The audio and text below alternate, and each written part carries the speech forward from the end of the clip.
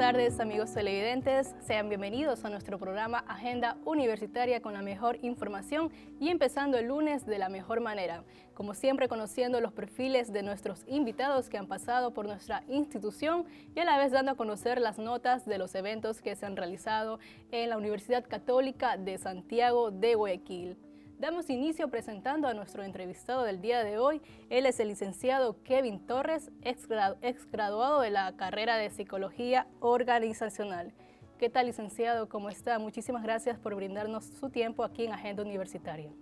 Qué gusto, la verdad, tener este espacio para poder compartir tanto mi vida eh, como estudiante, ahora actualmente como licenciado. La verdad, la universidad ha sido una etapa muy importante dentro de mi vida, me ha dado muchos sueños, muchas anécdotas, mucho conocimiento, muchos amigos y sobre todo este, una buena educación. Perfecto, muchísimas gracias por estar aquí presente, es muy especial para nosotros. Ahora sí, cuéntame, ¿cómo nace esta pasión por seguir psicología organizacional, teniendo en cuenta que la rama de psicología es una rama muy amplia? Coméntame. Sí, en este caso, eh, siendo un estudiante, un niño de, bueno, joven, perdón, de 17 años, a punto de salir del colegio estaba pensando en cuáles serían esas alternativas para estudiar en la universidad. Siempre he estado ligado al deporte, el fútbol, siempre me ha apasionado, pero también he estado orientado a la psicología, a conocer el comportamiento de la persona, los pensamientos, las percepciones, la influencia que llega a tener en la sociedad, la cultura, los padres sobre uno mismo y sobre todo ciertos personajes que de alguna manera mm, fueron importantes como mi familia, mi, mi papá, mi abuelito, mi tío. Eh, en este caso también Sherlock Holmes, que es un, un, personaje que me encanta cómo piensa, cómo razona y desarrolla los casos. Entonces es un mix de todo. ¿Esta decisión que tomaste para seguir este psicología organizacional, la tomaste ya saliendo del colegio o te diste unas que pequeñas vacaciones hasta pensarlo bien? Sí, en este caso viajé a la ciudad de Quito junto con mi tía y conversé con una tía de Quito, que ella estaba orientada a lo que es psicología organizacional, entonces por ese momento yo estaba enfocado en estudiar psicología, que era algo que me llamaba la atención, pero en conjunto con esta conversación de mi tía, me supo orientar que psicología organizacional me, me tenía más desarrollo y de alguna manera sentía más pasión por las, por las empresas, por administración y poder desarrollar ese talento que tengo. Ahora, bueno, vas, te inscribes a la Universidad Católica. Eh, cuéntame cómo fueron los primeros semestres, ya que me imagino que del primero a tercero es pura teoría casi. Correcto, sí. Adicional que yo vengo de un cantón que se llama Cumandá, vecino hermano del cantón Bucay, entonces era un, como muchos estudiantes de la universidad de provincia. Entonces más pudieron las ganas de salir adelante con el apoyo de mi familia. Entonces viajé a la ciudad de Guayaquil, me radiqué acá, poder estudiar lo que realmente me apasionó y siempre los primeros eh, experiencias siempre dan miedo, pero más pudo ese saber cómo desarrollar, eh, poder ir trabajando de poco a poco de los primeros ciclos, poder encontrar esos estudiantes, esos compañeros, sobre todo esos profesores que aman lo que hacen y te enseñan que de alguna manera te proyectas en ellos como la materia te enseña. Luego de esto, de recibir ya las teorías, ya viene el momento de avanzar un poco más a las prácticas, ya todo el conocimiento, reflejarlos ya en, la práctica de psicología, que me imagino que es un poquito complicado. Sí, por supuesto. Justo recuerdo, siempre lo comento cuando me hacen esta pregunta, que en cuarto ciclo yo tuve mm, cierto mm, apego, por decirlo así, con el profesor Efraín Chiquito, que me supo enseñar de manera adecuada. Yo le pedí que me invite a sus capacitaciones, talleres, charlas que él siempre daba. Entonces fue ahí donde me apasionó mi carrera. Yo amo mi carrera, pero siempre estoy más enfocado a lo que es dar capacitaciones, talleres. Eso es lo que realmente quiero para mi vida. Poder ser un coaching, un instructor, un facilitador. Entonces de allí ya despegué.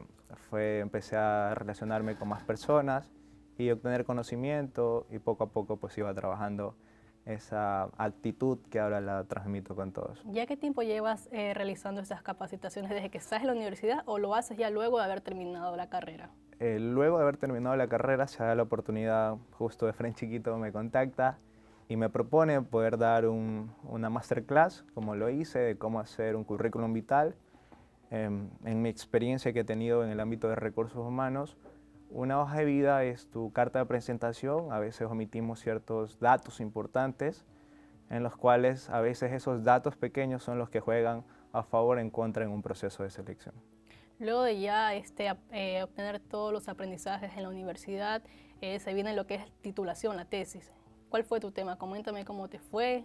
Sí, más bien este, yo opté por la modalidad examen complexivo y un caso teórico y, práctico a la vez, perdón, teórico, en el cual pues en el examen eh, me fue adecuadamente, pero mi fuerte es exponer, desarrollar el tema y fue ahí donde pues tuve una buena, buen puntaje de 10 allí, pues se ponderaban las dos calificaciones, pero allí es mi fuerte. Entonces por eso obtuve por esa modalidad. Luego de todo el tiempo aquí estudiando en la universidad, ¿la UCSG crees que cumplió todas sus expectativas de enseñanza en el trayecto de toda tu carrera? Sí, por supuesto, sobre todo las relaciones que me brindaron, eh, poder llegar desde como estaba un joven de 17 años, 18, viajando muchas veces como muchos de nuestros estudiantes, 3 de la mañana, 4 de la mañana, pero todo es un trabajo, como lo digo, desarrollar y los profesores adecuadamente cumplieron con el sílabo y aquí está el resultado. ¿Y cómo te ha ido en esto de las capacitaciones que das? ¿A qué, a qué personas te diriges? ¿Tienes un, ¿Un grupo objetivo? Un grupo objetivo. Sí, en este caso, eh, como sugerencia, al, poder ir desarrollando esta experiencia, voy con un grupo objetivo que no sea tan exigente. En este caso, con estudiantes eh, de colegio era la primera idea, pero se abrió al público en general, estudiantes de, de universidad que todavía no tienen su primera experiencia, entonces allí pues yo transmito ese conocimiento, pero ya poco a poco eh, mi idea es poder desarrollarlo a un grupo objetivo más exigente y poder trabajarlo de mejor manera y eso es muy satisfactorio en mi parte, poder dar ese granito de arena con, con la sociedad del conocimiento que he adquirido. ¿Estos programas que realizas cada qué tiempo lo haces es totalmente abierto al público? Sí, en este caso eh, lo realizamos el 1 de septiembre en mi primera masterclass, eh, taller podríamos llamarlo. Estoy, estoy pensando en realizarlo a, mediados de octubre o finales de octubre, otro masterclass o taller vía Zoom o Teams, como sea. Invitarle a todo el público porque la verdad son parámetros, bases muy importantes en las cuales todo mundo debe saber desde cómo se hace una hoja de vida, qué hacer diferente. Y hasta muchas veces es más, más gana la actitud con la cual tú eh, realizas la entrevista en comparación al conocimiento muchas veces. Bueno, coméntame un poquito más, este, antes de culminar este primer bloque, eh, en esos programas que dictas, ¿qué específicamente te adentras en esto de lo que es psicología organizacional? ¿Me puedes comentar un poquito más? Claro, en este caso em, empiezo con, con, la definición de los temas, que es una hoja de vida, que es un currículum vital, eh, también para qué se usa y los criterios fundamentales o pilares de la hoja de vida. Información personal, este, experiencia, cómo detallar la experiencia, en este caso la empresa, el cargo que ocupaste, actividades de tres a cinco actividades, y desarrollarlas en verbo infinitivo ar, gestionar, definir, desarrollar. Y en eso, después de estos eh, pilares fundamentales de la currículum vital, paso a lo que yo creo que es la clave para ser seleccionado, te da un plus dentro de un proceso de selección que es la actitud. Es muy diferente decirte, hola Kevin, qué gusto, me presento, mira, soy la persona que tú estás buscando, solo necesito que tú confíes en mí para poder trabajar acá. Es muy diferente o muchas personas, hola Kevin, claro, bueno, cuéntame, ¿qué haces? Sí, mira, tengo 22 años, eh, eh, estoy trabajando, tengo experiencia en selección, perfecto. ¿Y qué más? Eh, sí, entonces son respuestas muy cortas, diferente que tú te vendas. Entonces muchas veces la actitud este gana más allá de que el conocimiento, pero el conocimiento sí es importante. Me imagino que debe ser una experiencia muy, muy importante, que te llena de orgullo este, exponer tu experiencia, tus enseñanzas a los estudiantes, ¿no? Bueno, este, nos vamos a nuestro primer corte comercial. Sigan conectados a través de la señal de la UCSG Televisión. Ya volvemos en breves con nuestro segundo bloque, donde vamos a hablar más de la vida laboral del licenciado Kevin Torres.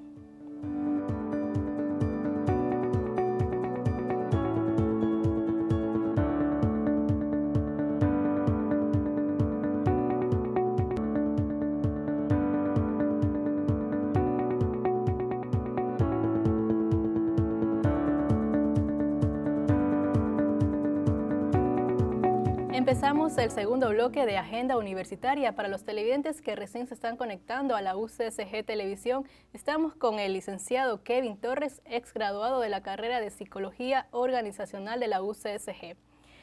Coméntame un poquito más, licenciado, sobre este puesto de que tiene General de, Recursos Humanos en Analiza de Capacitación y Desarrollo.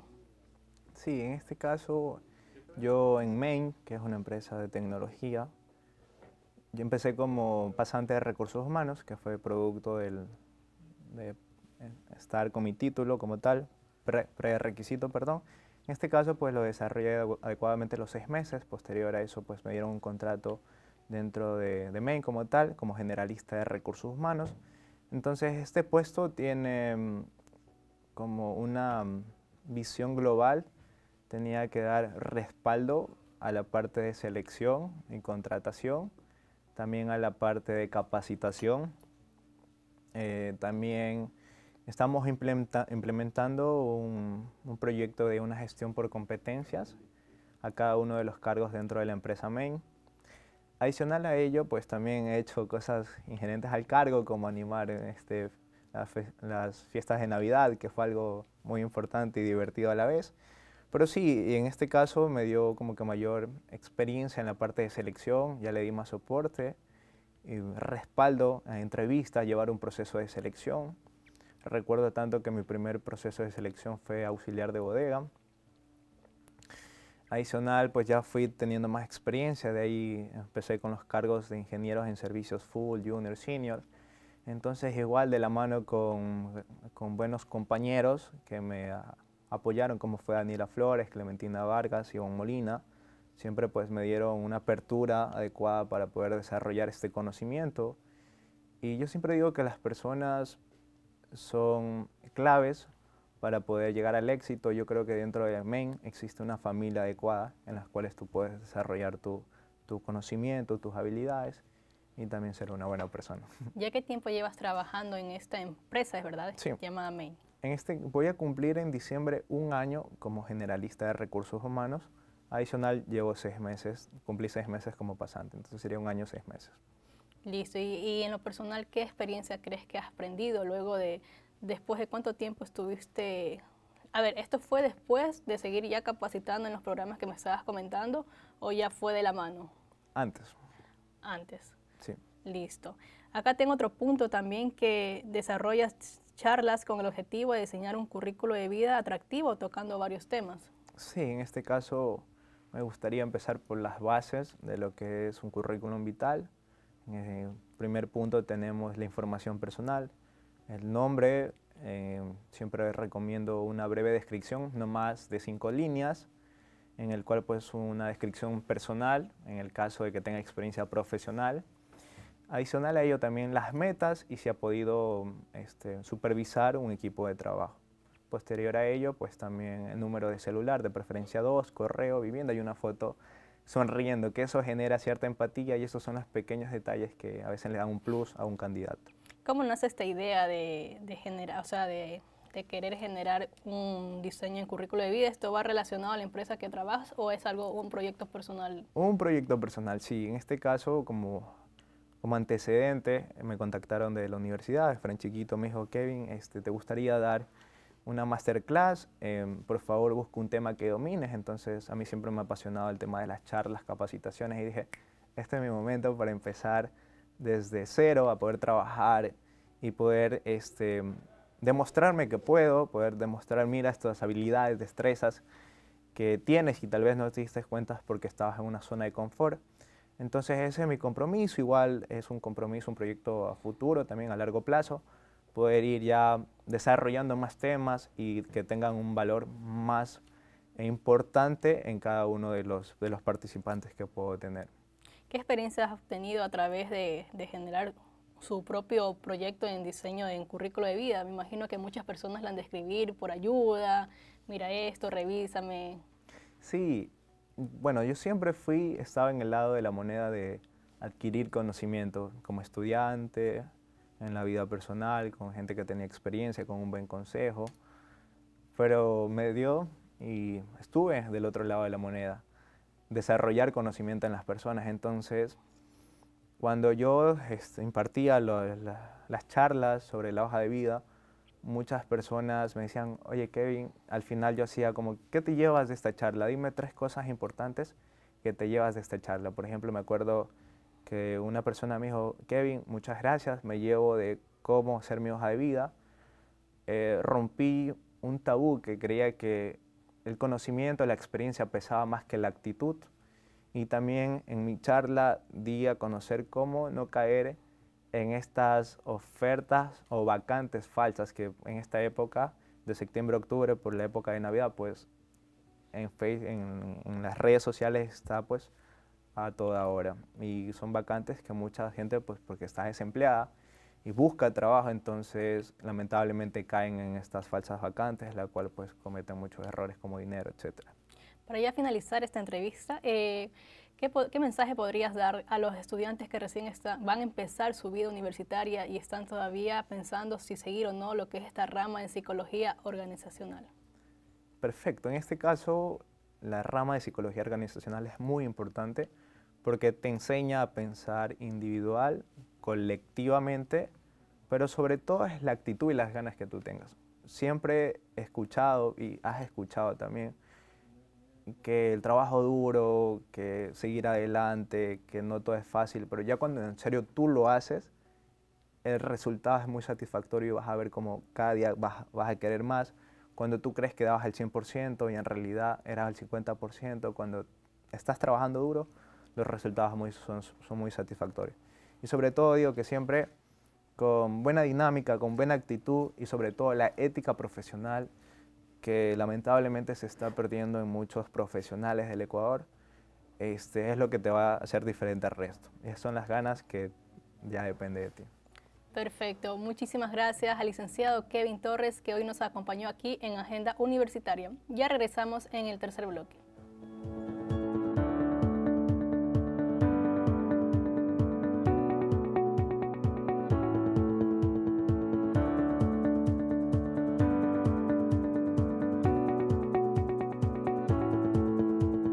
Colectivo de trabajo. Veamos el informe.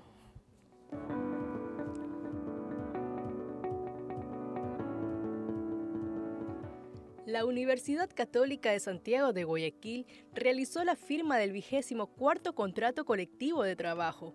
El programa se llevó a cabo en el Auditorio Leonidas Ortega, en donde estuvieron presentes varias autoridades de nuestra institución en beneficio del Sindicato General de Empleados Administrativos y de Servicios de la UCSG. Es un logro que se ha realizado gracias a las negociaciones que se han venido dando en el cual cada dos años, por ley, debemos de firmar un contrato colectivo y efectivamente hoy ha culminado eso de ahí con la presencia de una representante, la abogada Villasís, Villa Gómez, perdón, del Ministerio del Trabajo. Este acto es de gran importancia para nuestra universidad y además para las 15 personas que forman parte del Sindicato General, quienes ya están por cumplir 50 años de labor. Cada dos años renuevan sus contratos innovando nuevas ideas o proyectos en beneficio de su gremio. Sí, todos estos procesos de contratación colectiva está avalado por el Ministerio de Trabajo con la subregional de Guayaquil. Es el, ente jurídico que le da el aval a estos procesos entre empleador y trabajadores. Nuestra universidad busca brindar los mejores servicios para sus trabajadores y estudiantes, informó para Agenda Universitaria Hilary Maruri.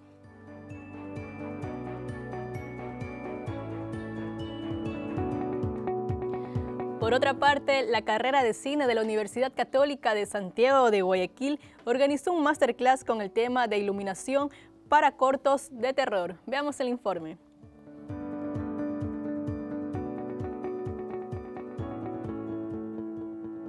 La carrera de cine de la Universidad Católica de Santiago de Guayaquil organizó un masterclass con el tema de iluminación para cortos de terror totalmente abierto a estudiantes y al público en general con el objetivo de brindar las enseñanzas con las herramientas necesarias para ampliar el conocimiento de nuestros estudiantes de la UCSG.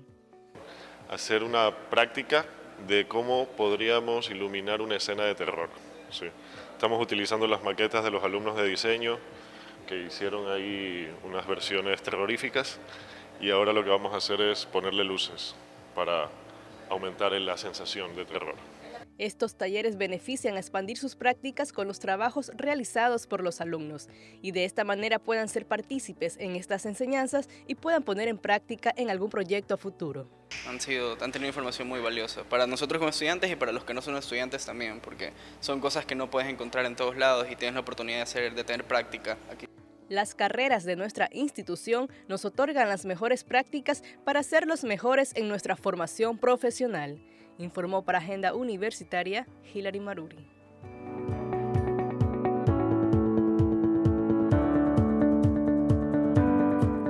Para finalizar nuestro programa, la UCSG celebró en sus instalaciones el Día del Orgullo Ecuatoriano, junto con todos los miembros que conforman nuestra institución. Veamos.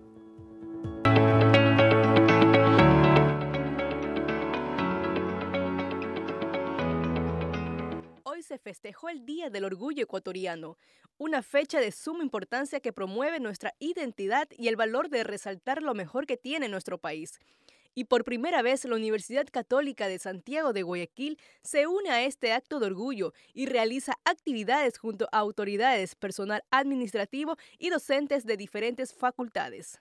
Debemos sentirnos siempre orgullosos de lo que somos, y de quienes también formamos, que a la larga nuestros profesionales ecuatorianos hacen un impacto en la sociedad, tanto guayaquileña como mundial, debido a las diversas carreras que nuestra facultad tiene. Entre las actividades que realizó la UCSG fue describir por medio de una frase lo que representa nuestro país para cada persona. Además, se eligió la mejor foto de cada grupo que estuvo presente en este programa. La felicidad y emoción se reflejaba al haber tomado esta iniciativa en nuestra comunidad universitaria. muchos se unieron a esta participación y nosotros como Universidad Católica también este, nos unimos e invitamos a todos, eh, a toda la comunidad, a todos los docentes, colaboradores a que formen parte de este día. El recorrido empezó en las instalaciones del edificio central de la universidad en donde se unieron diferentes facultades con su grupo, los cuales vestían con los colores de nuestro país. Esta caminata finalizó en las canchas de la extensión de la Facultad de Medicina. Con alegría y satisfacción al ver la unión de nuestra institución para celebrar esta fecha, realizaron una foto grupal. Este es un evento importante para demostrar al Ecuador y al mundo que los ecuatorianos estamos unidos, estamos unidos con un orgullo por ser nuestro país y sacar adelante nuestro país. Nosotros como Universidad Católica también estamos colaborando para esto de aquí. Nuestra universidad siempre promueve fechas importantes para compartir con el personal de la UCSG y unir lazos de amistad, informó para Agenda Universitaria Hilary Maruri.